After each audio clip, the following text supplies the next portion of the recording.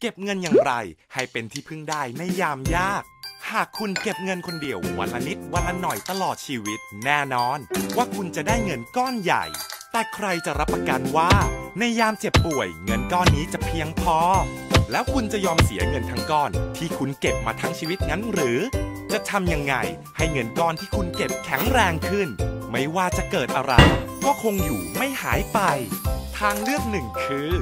คุณนำเงินไปออมรวมกับอีกหลาย ๆ คน จากเงินก้อนใหญ่ รวมกันเป็นก้อน ใหญ่ขึ้น ใหญ่ขึ้น ยิ่งเก็บก็ยิ่งใหญ่ พร้อมมีคนกลางช่วยบริหารให้มันงอกเงย วันหนึ่งหากคุณเจ็บป่วย ก็จะมีเงินก้อนใหญ่นี้ ดูแลอย่างเพียงพอ พร้อมรับการรักษาที่สะดวกสบาย เงินก้อนใหญ่นี้จะถัวเฉลี่ยกันไป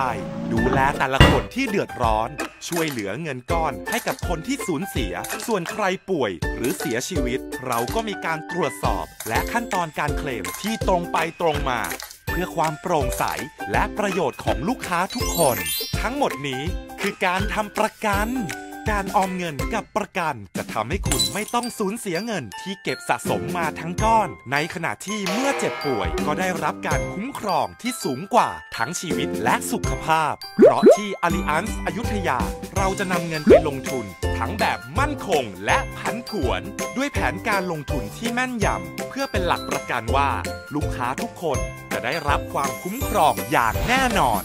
เรามีแบบประกันมากมาย และความคุ้มครองหลากหลายให้เลือก Allianz อยุธยา เคียงข้างทุกจังหวะชีวิต สนใจข้อมูลผลิตภัณฑ์ติดต่อ 1373 หรือ www.azay.co.th